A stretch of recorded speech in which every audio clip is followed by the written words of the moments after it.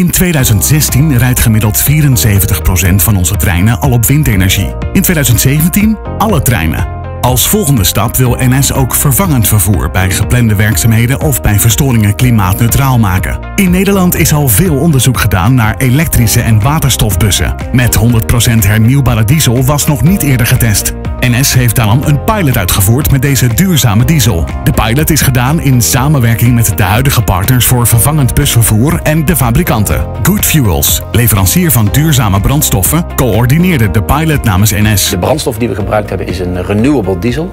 En dat is een volwaardige vervanger voor, voor reguliere fossiele diesel die gemaakt is van afval en reststromen en daarmee ook eh, CO2-neutraal is. En die hebben we ingezet in een zevental bussen, variërend van Euro 3 tot Euro 6, die eerder dit jaar een aantal maanden eh, in het totaal zo'n 130.000 kilometer hebben afgelegd.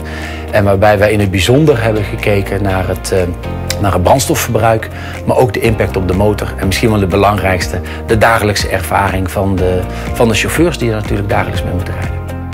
De pilot is goed verlopen, eigenlijk vlekkeloos. Uh, het implementeren van HVO in onze bussen, dat was vrij eenvoudig te doen. Daar hebben we weinig werk aan gehad, dat ging uh, vrij makkelijk.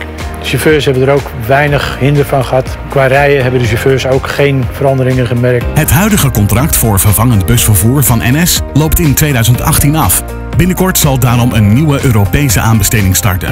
Dat een uitgelezen kans is om ook het vervangend vervoer CO2-neutraal te maken. In onze dynamische en hectische wereld binnen ons besloten busvervoer, daar is men ook op dit moment heel veel bezig met uh, duurzaamheid. Waarbij natuurlijk op diverse manieren daarmee aan de slag kunt eh, gaan. Onder andere de proef die wij nu gedaan hebben met hernieuwbare diesel. Daarnaast is natuurlijk ook elektrisch heel veel aan de orde. Maar voor ons is elektrisch op dit moment nog een brug te ver. En ik denk dat we met de proef die we ook gedaan hebben met hernieuwbare diesel, dat we daar de komende jaren beter mee aan de slag kunnen. Duurzaamheid uh, zit in het DNA van Scania. Daarom is het ook logisch dat Scania continu bezig is met de ontwikkeling van duurzame brandstoffen en ook doorontwikkeling van duurzame brandstoffen in de nieuwste Euro 6 motoren. De pilot bij de NS heeft uh, bij ons uh, naar volle tevredenheid gedraaid. Het verbruik is ook naar verwachting geweest.